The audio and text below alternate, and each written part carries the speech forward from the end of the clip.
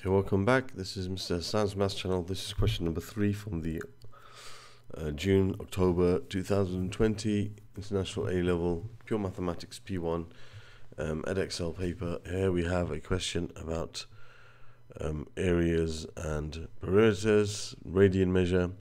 Here we have a question that tells us that this diagram is not drawn to scale. It says it's a, the design for a badge um, it says consists of two congruent triangles, AOC and BOC. So you have AOC, this one on top here, AOC and BOC, uh, congruent, joined to a sector AOB of a circle center O. So you have a sector here of a circle AOB with center O. it says angle AOB is is um, alpha. AO and OB are the same course, because they are both the radius, and OC equals 5 centimeters. So we know that these two are equal in size. These two are also congruent triangles. It says, given that the area of sector AOB is 7.2 centimeters squared, show that alpha equals 1.6 radians. So this angle here, we got to show that it's 1.6 radians. Um, given that the area of the sector, just the sector part, is uh, 7.2 centimeters squared. Okay, so we know that the area of a sector is given by the formula half r squared theta. Okay, when the angles are measured in radians. So the measure, angles are measured in radians, the area is a half r squared theta. So as they ask us to find that the, the angle is 1.6 radians, of course it's far easier for us to use this formula. Okay, so doesn't really make sense to change things into or to use uh, like some students do theta over 360 times 2 pi r um, uh, times pi r squared sorry. It doesn't really make sense to use that formula when you have to find your angles in radians because there you get your angles in degrees and then you have to change them to radians. Over here this will automatically give you an angle in radians and you know the area is 7.2 and you know the radius is 3 centimeters so it's a half times 3 squared and you know the angle is alpha. Okay the angle that we have to find we've they've called it alpha. So we're going to have uh, 7.2 times 2 over 9 equals alpha. So you can say alpha is equal to and you just make sure you don't have to really do much here just make sure that that gives you the right answer. 7.2 times 2 divided by 9 gives you 8 over 5 which is 1.6 so we have 1.6 radians. Okay there we have the answer to part A pretty simple. Okay so part B says um, the design okay so it says given that the area of sector AOB is okay we also know that so B says hence find the area of the badge given the uh, giving your answer is centimeters squared to two significant figures. Okay, so we've got to find the area of the whole badge. So we already know that this is 7.2 uh, centimeters squared. That's given to us in the question. So we need to find the area of these two triangles. Now, finding the area of one of these triangles um, will be enough for us because we can then multiply it by 2 because they are congruent triangles and add it to 7.2. So we need to find the area of one of these two triangles here. Um, and to do that, we can see that they're not right angle triangles. You can't use a half times base times height, but you can use the formula A equals a half times AB sine theta. This is a, a, the formula we can use to find the area of a triangle where we have two sides, which we do, and the angle between them, which we have to find. So we need to find this angle here. Okay, let's call this angle theta. Now the angle theta as we can see from this diagram, is going to be basically, now this is also the angle theta, isn't it? This is also the angle theta, because they are equal, okay, because these are congruent triangles. So what we can say is that um, 2 theta plus alpha is equal to 360, or because we're dealing with radians, it's equal to pi, um, pi radians, 2 pi radians, sorry. One whole revolution is 2 pi, Okay, so we can say that therefore, um, and we know that uh, alpha is 1.6. So let me just write this over here. We can say that uh, 2 theta plus alpha is equal to 2 pi. Uh, so 2 theta plus 1.6 is equal to 2 pi. So theta is going to be 2 pi minus 1.6 divided by 2. Okay, which is the same as pi minus 0.8. Leave it in this form, that's fine. Okay, pi minus 0.8 is fine. Um, 1.6 divided by 2 is 0.8. I'm leaving it in, in, in an exact form. Okay, so that's a, that's the value of one of these angles. So this angle theta, you can say is pi minus 0.8. So we can say the area of the triangle, let's say BOC. So the area of the triangle BOC is equal to a half times A times B, which is 3 times 5. Is it 5 there?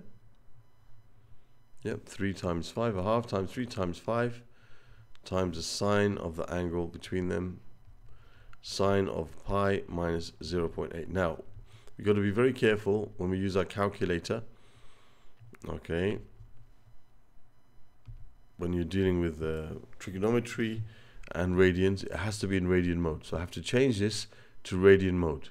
Okay, it doesn't have to be in radian mode just to, like for part A, there's no problem. For part B, because we're using sine and the angle, I have to tell the calculator that the angle I'm putting in is in radians, not in degrees. So to do that, I have to press, I have to, I have to put angle unit as radians. So now it knows when I put the sine and I put an angle in there, that the angle I put in is in radians. So I'll have a half, which is 0.5, times 3 times 5 times the sine. And I'm going to put pi minus 0.8 pi minus 0.8 just keeping accuracy in your answers is better and that will give me the area of one triangle which is 5.3802 um, you can say. 5.3802 that's centimeters squared. Therefore the total area of the whole thing is going to be 2 times 5.3802 plus 7.2 because we have the area of one triangle and then the area of the other so it's 2 times that plus 7.2 which they told us was the area of the sect in the first place. So that's going to give us our answer. So I take my answer here I multiply it by 2 and then I add 7.2 to my answer. That gives me 17.96 so 17.96 centimeters squared. And the question told us to give the answer to two significant figures for part one. So two significant figures would be basically that would become 18. That's the second significant figure is the nearest unit, so it's going to be the nearest whole number, which is 18 centimeters squared. And there's the answer for part one, which is finding the area. And part two is asking us to find the perimeter of the badge. To find the perimeter of the badge, I need to find the length of one of these sides like BC or AC and then I can just add that and find the length of the arc. So to find the perimeter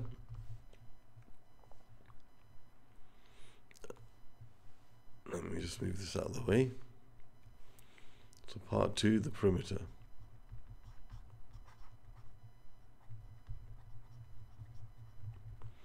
Okay, so I need um, the length of the arc, which is AB. So I need the length of the arc AB plus I need um, AC plus BC or two times you could say BC. Alright, so the length of the arc AB is equal to R theta or R alpha. Is equal to R times the angle which we call which we called alpha. So it's 3 times 1.6 which is going to be 3, 4.8 centimeters.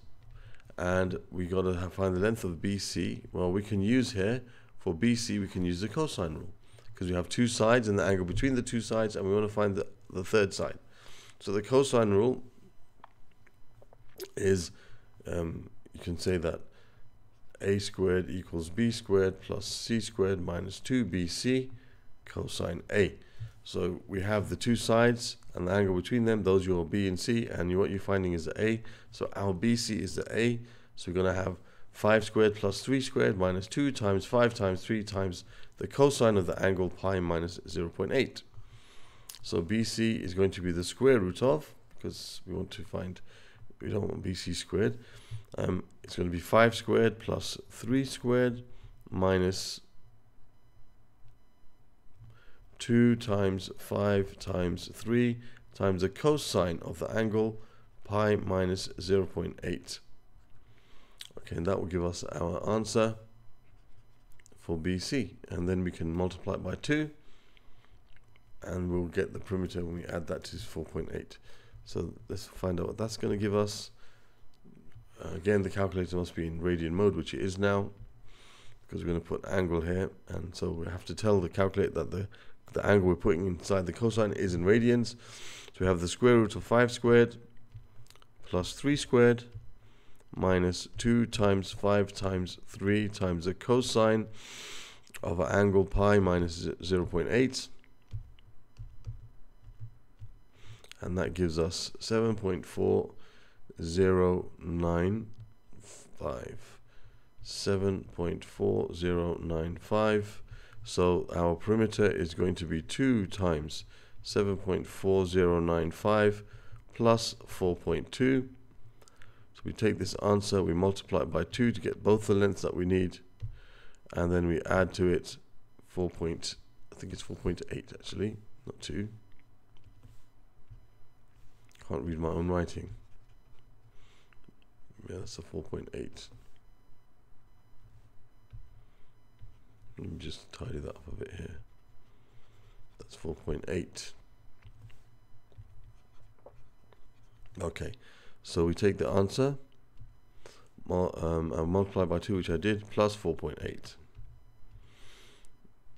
And that gives us 19.619, 19.619, which is 19 point, it says here, for us to give this answer to one decimal place, that's 19.6 centimeters. So there's the perimeter.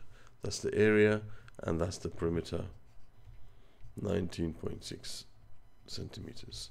And that's the answer to question number um, three.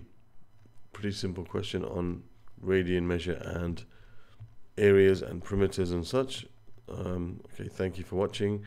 Um, other questions from this paper you should find in the playlist that should appear somewhere over here.